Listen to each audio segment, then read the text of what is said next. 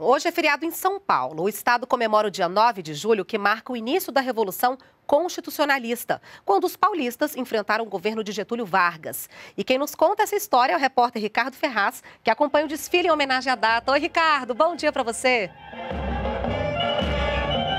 Bom dia, Renato. Bom dia a você que acompanha o Brasil em Dia. Estamos no Parque do Ibirapuera, bem em frente ao obelisco, um dos principais cartões postais da capital paulista,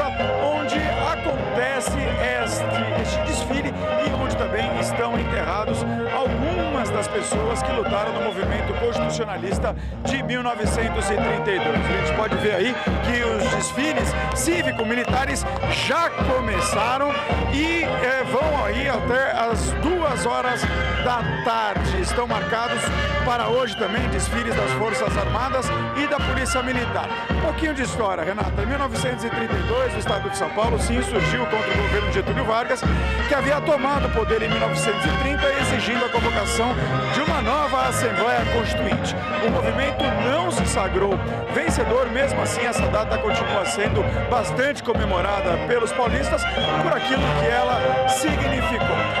Apenas um alerta em virtude do feriado de 9 de julho, que é comemorado todos os anos, algumas atividades que ocorrem normalmente todos os dias não acontecem hoje na cidade e no estado de São Paulo, como é o caso das atividades bancárias e também da Bolsa de Valores AB3. Renato.